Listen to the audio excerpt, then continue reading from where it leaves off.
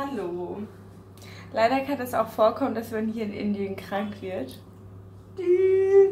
Nach unserem 22 Kilometer Lauf ähm, durch, äh, durch den indischen Dschungel habe ich mich ein bisschen verkühlt. Und äh, jetzt behandle ich mich mit Ayurveda. Dazu gehört Situpaladi Kurna. Ne?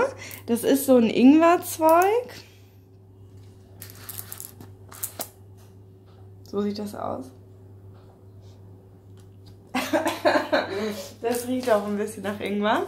Das tust du in einen Tee rein mit Honig. Und äh, dazu gibt es abends einen Schluck Prisol von der Himalaya Company. Ja. Und gucken wir einmal hier, genau. Die Zutaten, die, die stehen hier. Mhm, mhm, mhm. 1000 Kräuter. Die werde ich jetzt trinken. Abends ähm, zum Bett gehen. Ne? 10 Milliliter. Und es riecht ungefähr, also so ein bisschen nach Schwedenkräuter. Und sieht auch so aus. Prost.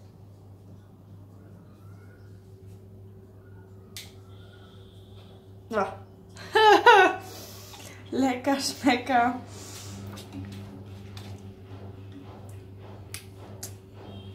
Ja, dann hoffen wir mal, dass ich schnell wieder gesund werde. Ne?